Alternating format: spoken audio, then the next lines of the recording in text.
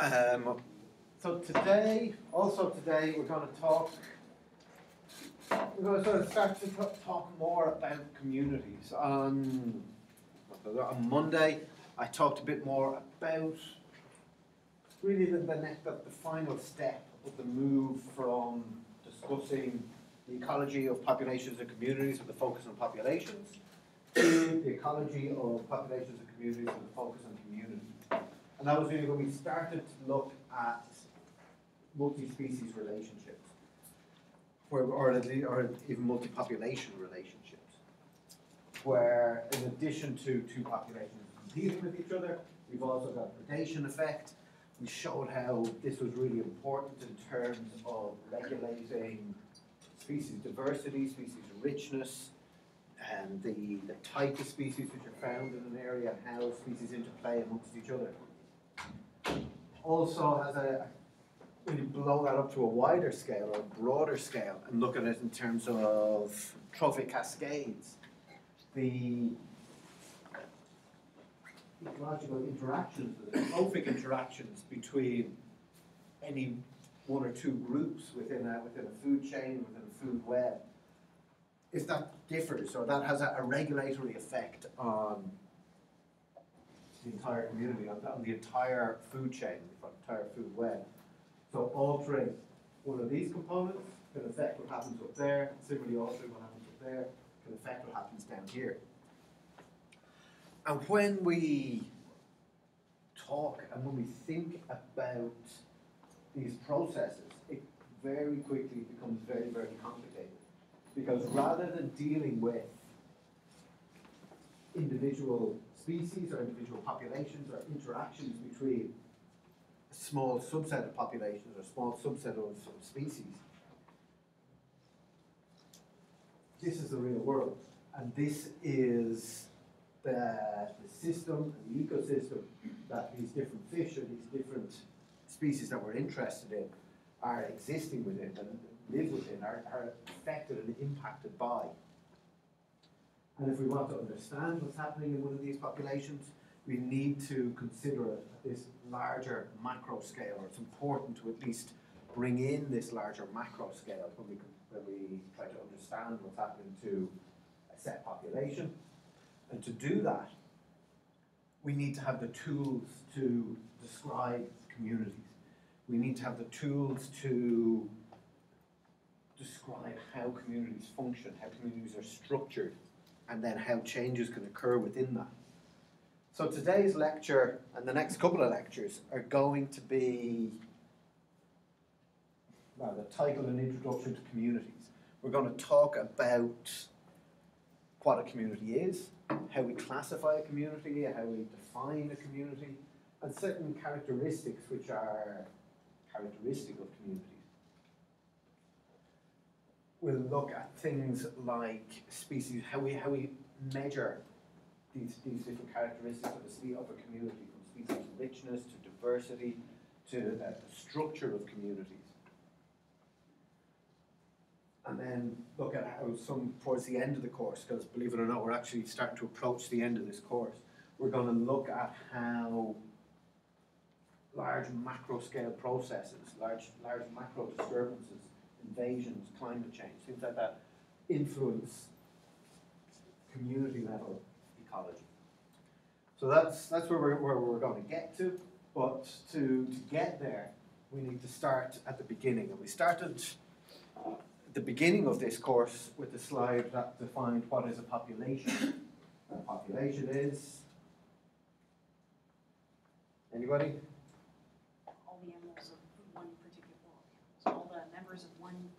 Species in one particular geographic area. Perfect, yeah. Almost perfect, less than the entire, oh, well, it can be the entire population, or the entire, see, of that species, that's, that is perfect. When we're talking about a, a community, we can think of it in two different ways, or we can give a, a weak definition of a community and a stronger definition of a community. A weak is all the set of populations living within some defined area. So essentially, our defi definition for a population, but blown out to incorporate multiple different species.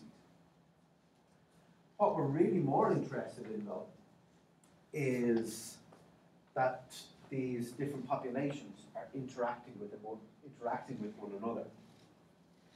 If we want to define this community, there may be another species that's within this community, um, bent, benthic shark, something like that, that are not related to this pelagic food web.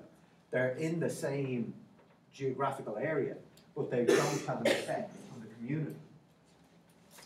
So, a much stronger definition of community is that we're, starts the same, set of populations living within some defined area, which are interacting with each other and form a distinctive living system with its own structure, development, and function.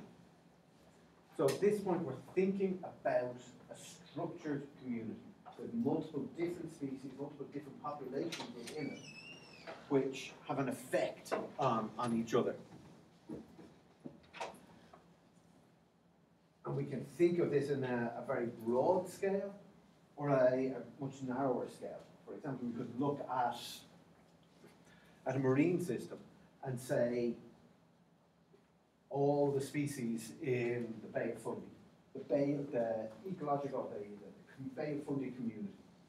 Could be every individual of bacteria, fish, macro, macrophyte, vertebrate found within the Bay of Fundy. Alternatively, we can break that down a bit smaller and say we're looking at, we're interested in the algal community, or interested in the fish community, or the invertebrate. There's flexibility in this term, and it's because there's super flexibility in the type of work that people do and the, the, the interests that people have and the questions we're trying to answer.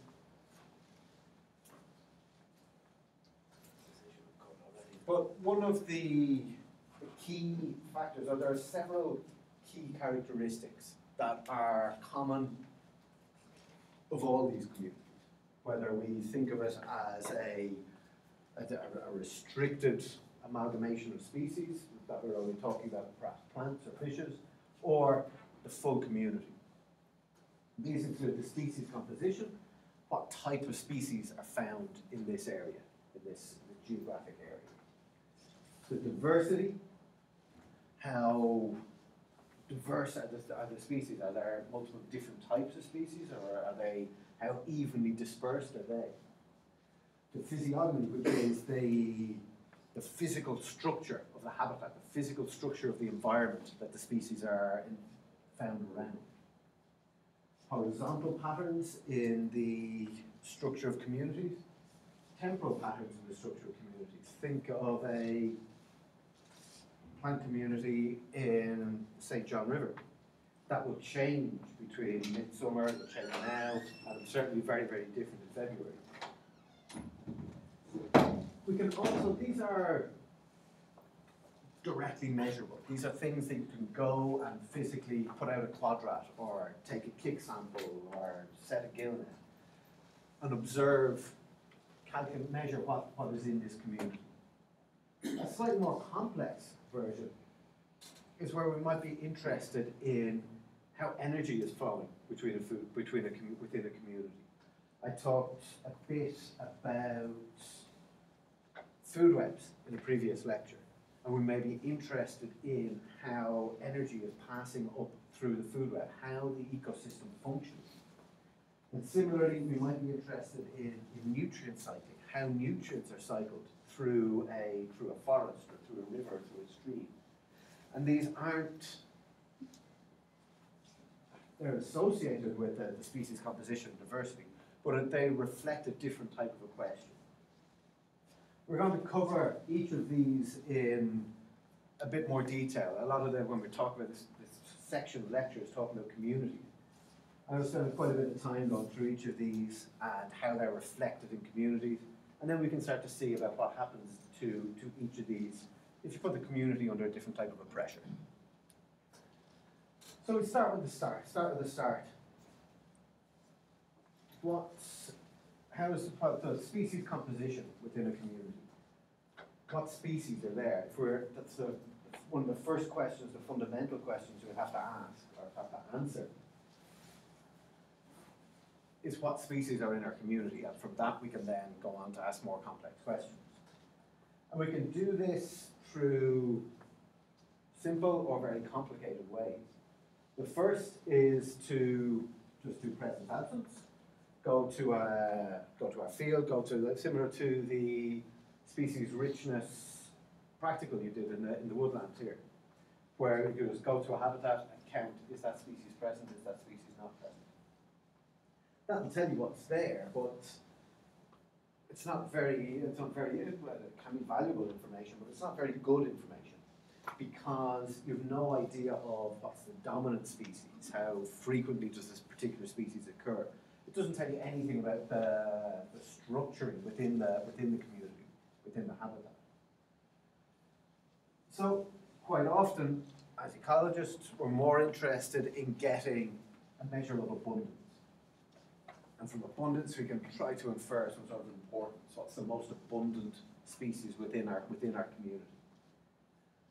Again, there's a number of different methods we can use to, to calculate We can look at density, so how many trees per quadrat, how many fish per net, times the actual number, the actual abundance of species. Biomass, same only different, how many gram or what mass of plant was present, how many grams or kilograms of fish were captured from each net. In plant communities, quite often we're interested in percent cover. So here's an example of a quadrat, various different species in the quadrat, might be difficult to see it there. But essentially, we can plot out what proportion of the quadrat is covered by this fern here, what proportion of the quadrat is covered by that herbaceous plant there. With that, you can get a measure of uh, the cover, another way of measuring the abundance, relative abundance of that species. Difficulty is that you don't have any accounting for the uh, spatial variations. If you're, you're just looking, looking down from above, there's stuff underneath there that you might not be encountering. Next, you might be interested in the contribution to energy flow or nutrient cycling within a within your community. For example, we'll deal with some cases later on that you could have a species which isn't very common, but is has a major effect on the on the the energy flow of the of the, of the within the habitat. A particularly favoured type of primary producer, something like that, or perhaps even a keystone predator. And one way then to like we've got all these various different methods and various different interests. And quite often, what we want to do is to combine, each of these tells us something different, gives us a different piece of information about the species in the community. But what we want to do is try and combine multiple different methods to get a, a composite value, a combined value, that would give us a measure of uh, the actual ecological importance of each species within the, within the community, within the habitat. I'm going to talk, there's a various different ways of doing this and multiple different methods that can be used and integrated. I'm going to talk, primarily focus on one because it's widely used in plant ecology, because it's relatively easy to understand, and it gets the point across. And it's class, it's called IV or the, the importance value and it's commonly used to ascribe a, to designate which species are most important based on their, their dominance, their, their prevalence within a, within a habitat. And it combines three different things, the relative frequency, the relative dominance, and the relative density. Think of this, we're going to work through it as a, as a hypothetical example first, and then I'll bring in some data and show you some actual data and try to, to work this through. But think of it as a thought experiment where we're going and setting out quadrats in a field. We want to know the relative frequency. Essentially, the relative frequency is the number of quadrats with species A divided by the total quadrats with all, with all species. So essentially, how, how many, if you set 20 quadrats, how many of those quadrats will contain your species? How frequently is it found in sampling, in your sampling. Next is relative dominance. So you can have very large plants or very small plants. So be, it's important to know, as well as the presence of a, of a plant, what's, what, what's its coverage. So here we look at the, the cover area or the basal area of the species divided by the cover or basal area of all species. Again, we're looking at that, the relative cover. And next, the relative density. And then here, simply the number of individuals divided by the total number of, number of individuals. We multiply each of these by, by 100 to present them as, as, a, as a percentage. But essentially, we're doing the same thing. And this is a, a useful system. Once we, we've calculated these, we'll then add the three together, add the three percentages together, and whichever species comes out on top is classed as being the most important species. A good thing about this is that it can incorporate different types of species. It can incorporate, it can give a relative importance or incorporate the importance of species which are quite frequently found but maybe very small. Species which are very infrequent or low density but maybe very, very large, like a sequoia tree, something like that.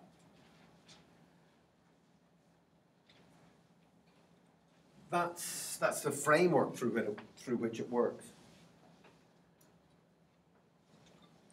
Because it's a, a dark, dreary, rainy day in New Brunswick and we're facing into winter, we're going to explain this or use a, an example from a Hawaiian rainforest to brighten up everybody's humour and give a nice colourful representation of how this system works.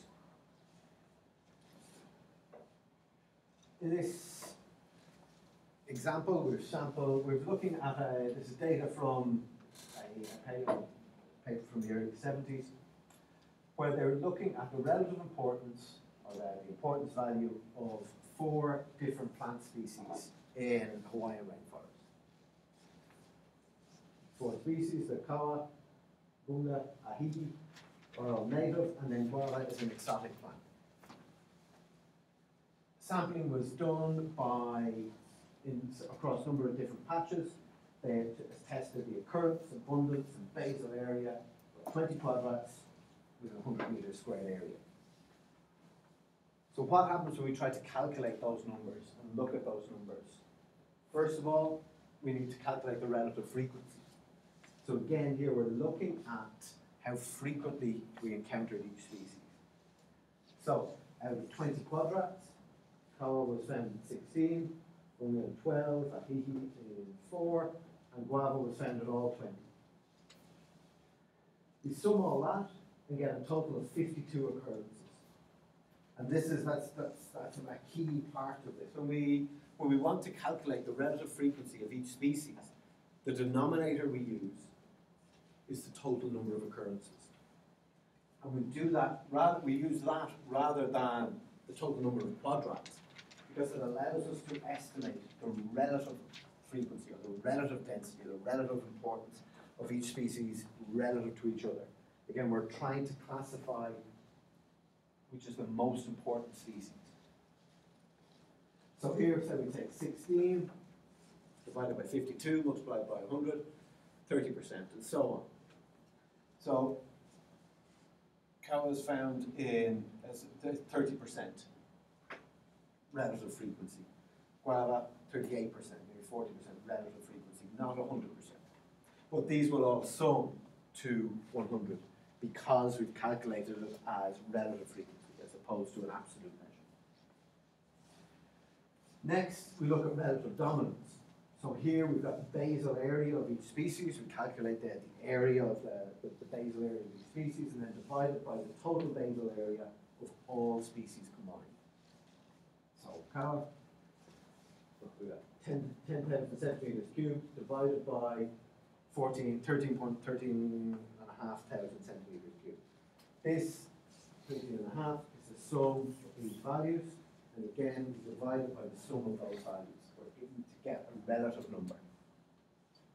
So here, out of the, the basal area of each species, Kawa comes out very, uh, is the dominant plant in terms of basal area, so almost 80% and gets smaller as you, as you go down.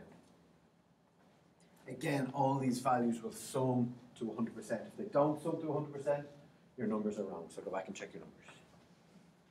The relative density then is as the density of each species. Again, the formula is almost exactly the same. What's the density relative to the total density observed of all species across the site, across all sites? Calculate those out. Then comes the, the important bit, the fun bit, where we want to combine each of these components to get an overall measure of this of importance, to calculate this importance value. And remember, our importance value is calculated as relative frequency plus relative dominance plus relative density. So here we've just calculated each of these is just that sum value from the preceding slides. So cow frequency is 30.8, dominance 74.8, so 78.4 even, density 30.2. Sum all those up and you get a you get a score, an importance value score, and then you can rank them according to which is the highest score. So we want to try and get some interpretation from that. What does that actually mean? So here we see kawa is a large plant. It's found very frequently, found in the majority of sites, at a rel- relatively high density. So it's frequently found. Where it's found, it's usually quite dense, and where it's there, it's quite a big plant. So it's, it gets a very high score, comes out as the, the number one ranked plant here. Guava was found as the highest frequency, it was found in all the sites, but it's a much smaller plant. And it's found at pretty high density as well, where, where, where it exists. So here, it's a frequently occurring plant, the plant occurs at high density, the highest density out of all the, the suds, out of all the, of all the plants. So, but because it's much smaller than the cow, it gets a smaller score, total score, and rank number two. Gunga has lower frequency and lower density than guava, but is a much bigger plant. So just in terms of its dominance, gets a higher score, gets a, gets a lower score, lower score than, or a higher score than I. So you can see that you can combine, by com- calculating these individual metrics, you get a different characterization based on the type of plant, based on the characteristics of the plant, uh, how frequently it's found, how large it is. To get an overall consideration, to get an overall measure of the, the importance, you need to combine those multiple different metrics. We can do that here and get a, get a result. One of the, the flaws in this, and one of the reasons that this is not such a good way to do things, but it's a very commonly way of doing it, is because it gives you an, inf- a, uh, an importance value. But that importance is depends on what your question is. If you're interested in prey availability for a specific type of um, specific type of herbivore, if you're interested in nutrient cycling, this importance value might be might not be important to you. So it's important, it's important before you decide on your importance, to base that on your question. You need to think first about what you're what you're looking for, and then pick a method that fits that, rather than going back to your notes when you have when you rather than having a project in the future, you go back to your notes from this course and say, okay, yeah, that's how you calculate importance. Let's just get those numbers and feed them in. You have to think logically about what you're doing. Next thing I'm going to talk about is diversity. So there we, we know how now, that's one way that you can calculate which species are present, what species are, species are found, and to what degree they're, they're, they're dominant or they're rare within your, within your community. That feeds into diversity, how diverse, everybody, we have a, an intrinsic idea of, what we mean by diversity. Lots of different things. And this can, when we try to think of this or put a, a schematic on this, it can break down into a lot of different, different components.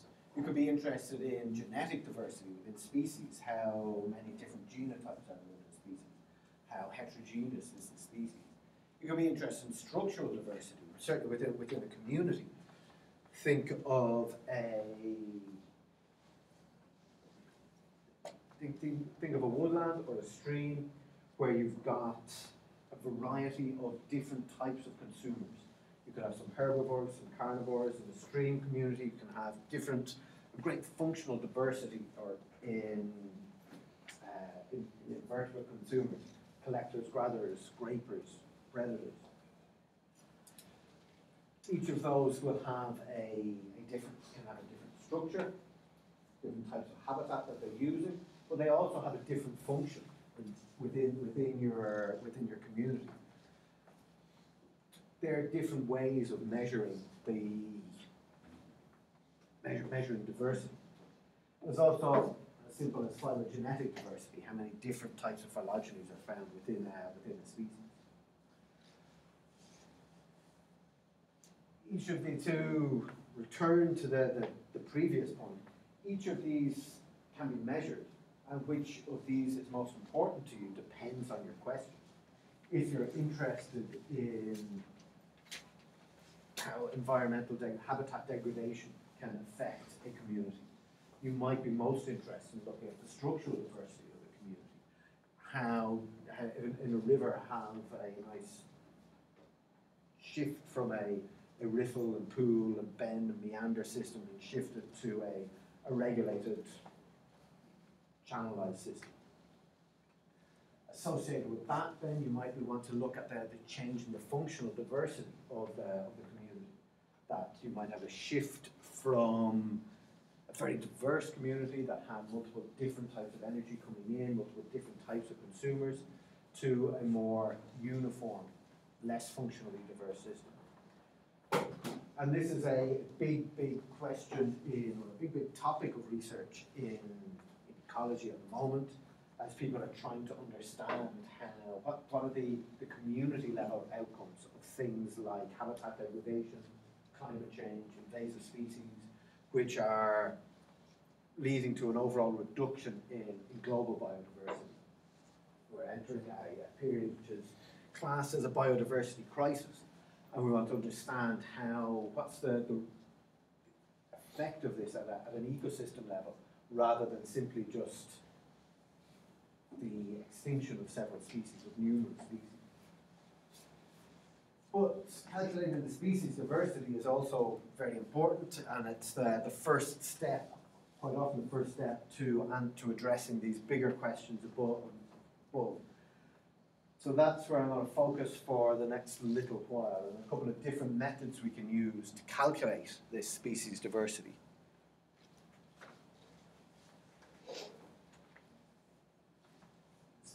any of these types of diversity, any type of diversity, but especially species diversity, can be considered, should be considered at a different, across a different scale. We're interested in what's happening at, quite often we're interested in what's happening at a, at a large scale. What's happening in the forest, what's happening in the, all the forests in New Brunswick, what's happening in all the stream rivers in Canada. When we do our analysis, we go and collect samples at a much lower level. We go to specific sites, things like that, measure specific areas within specific sites. So immediately we've got two different measures of diversity. We class alpha diversity as site-specific diversity.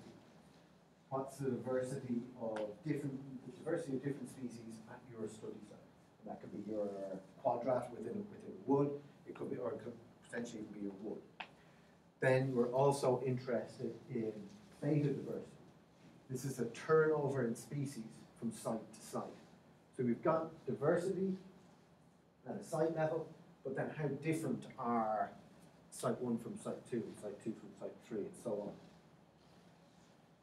Gamma diversity is the diversity of an entire region, and it combines both of those terms. It's combination of, a product of the alpha diversity, the diversity of a particular, at particular sites, by the gamma diversity, the diversity between sites. And there's a lot of different ways to, to measure these. There's some which have been around for a long time, such of which are just uh, new, new ideas, new measurements coming out all, all the time. But for today's course, we're going to deal primarily with tried and trusted methods. Uh, root and branch of how calculation of diversity works. The first option is just to look at species richness. Go, and like, like you did in the, in the lab, go count how many different species are found. That has the benefit of being quick and easy to calculate, and a group of students can do multiple sites in one afternoon in a couple of hours. The problem with that is that it doesn't account for any of this abundance or dominance. And as we saw a couple of minutes ago, that's crucially important. And when we want to characterize a, a community rather than just presence absence, we need to find a way of incorporating the abundance or the dominance of different species within our, within our community. We're going to talk about two different methods that we can use to, to calculate species diversity. They both pretty much do the same thing. We've got a Shannon Weaver, Shannon Weaver Diversity and Evenness Index, and also the Simpsons Diversity and Evenness Index. So you notice immediately I'm talking about, I started, started talking about diversity, and I very quickly moved on to something else. Diversity is made up of richness and evenness. Species richness, like I said, is just a number of different species. So we've got two different habitats, two different sites here. One on the left, one on the right. Both of these have equal species richness. Which is more diverse? So left from my left, your left. So is that more, yes, yeah, yeah, that was your left. Uh, so this, we've got, so somebody said they're the same. Why are they the same?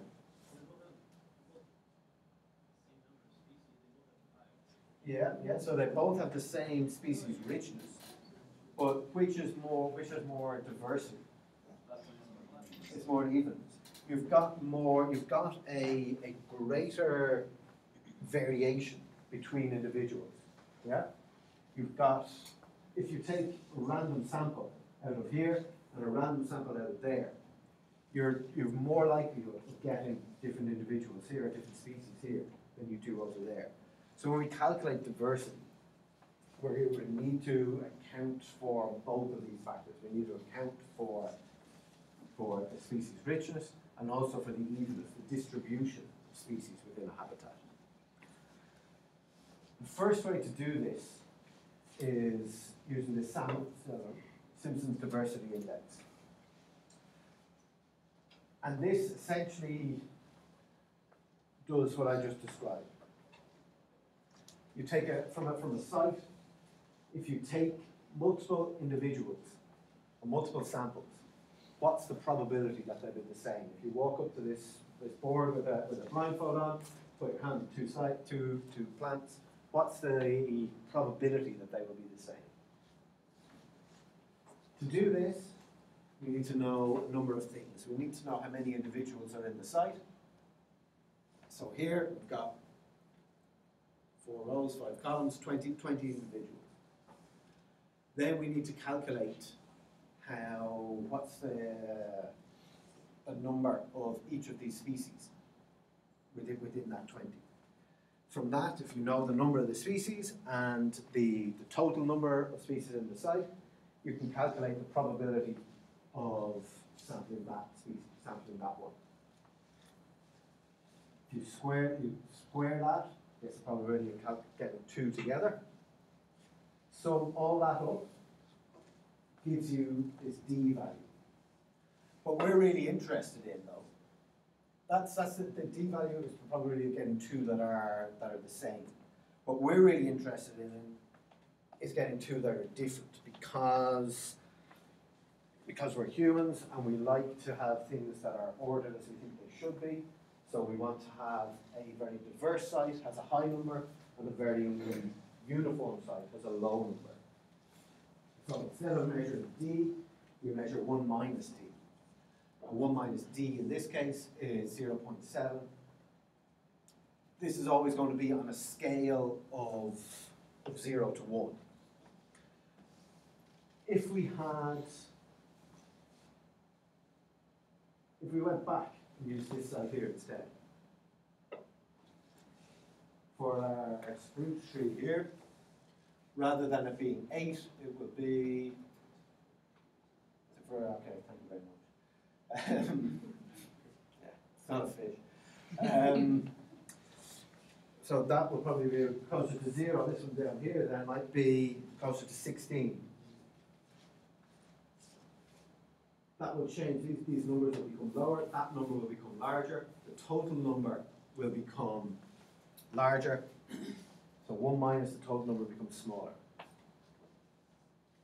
This evening, take this, put some other numbers into it, and see what comes out the other side.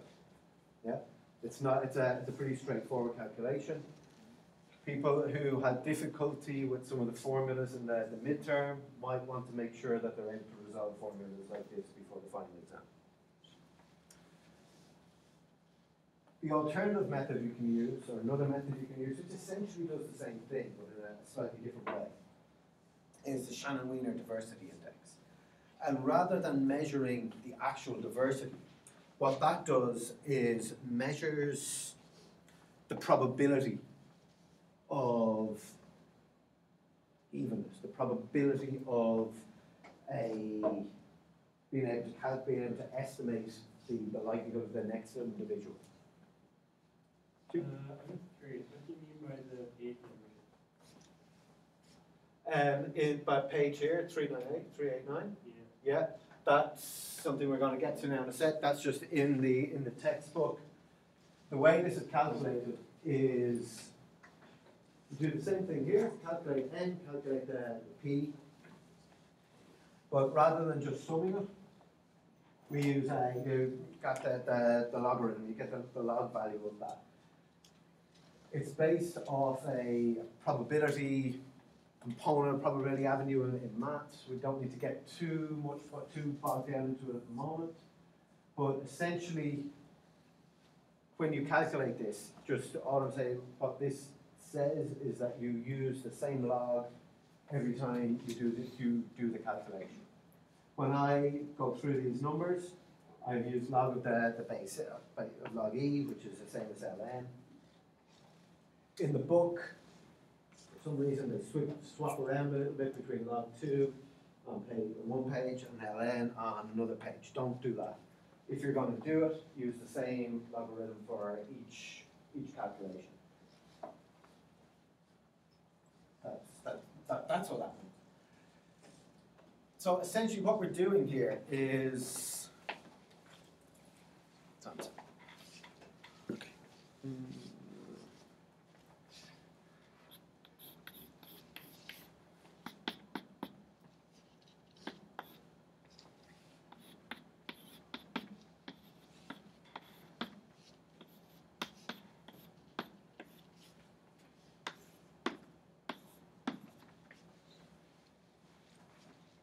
one, one, one, one, one, one, one, one, one, one. What's the next value in that string probably going to be? One. One, seven, three, two, five, one. What's the next value in that string going to be? Probably not one. Probably not. Well, probably we don't have a clue, to be honest.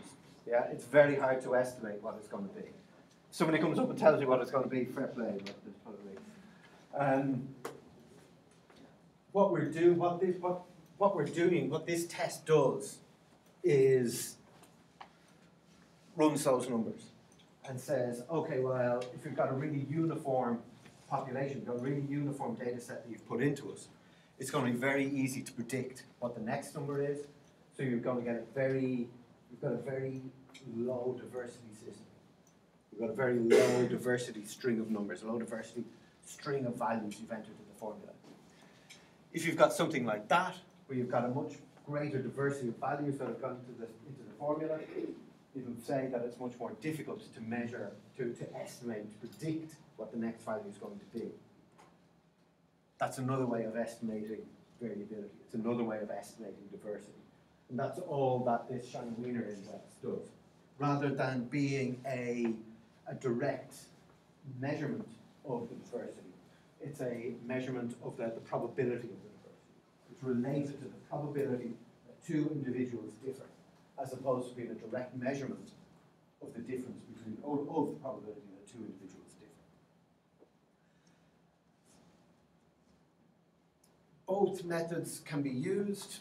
Both methods are can be applied to to different to different systems. Generally, the Shannon-Wiener is more sensitive to changes in abundance of, of rare species, just just due to the mathematics. Whereas the Simpson index is more sensitive to changes in the, in the abundance of common species. So again, incorporating the abundance is, is key to this. And these are methods that allow us to incorporate the abundance. They're both frequently used. There's no right or wrong answer, depending on the system that you're interested in. If you're specifically interested in rare species or common species, you might choose to use a different method. Hmm? You should have some idea, you should have some understanding of both, yeah, yeah. Can you go back to that last part? I can indeed, yeah. Do you want me to go through it again, or? You good now? Yeah, good. Oops. We're forward now, we're fine. Okay. Is that the way you want? Yeah? Alright, cool. So that was, so that's how you estimate diversity, yeah? That's how we calculate a, a, a D, a diversity index. But I remember I said there was two components where with- within diversity that we also need to account for evenness. And we can do that for, for both of these values simply by including the species richness as a term in the, in the calculation. It's a secondary calculation for the Simpsons. You can get a, a 1 minus d value and put that relative to the, the total species richness. You do the same thing in the Shannon-Wiener. What you're doing is saying how diverse the system is relative to the number of species. And by doing that, you're able to calculate the evenness. That's where I'm going to leave it for today. Um, on Friday, I'm not going to be here. Rob Johns is going to be here Friday, and Monday is the next guest lecture in this series. So Rob Johns is going to be here. He's going to talk about spruce budworm. He's going to talk about predator prey relation.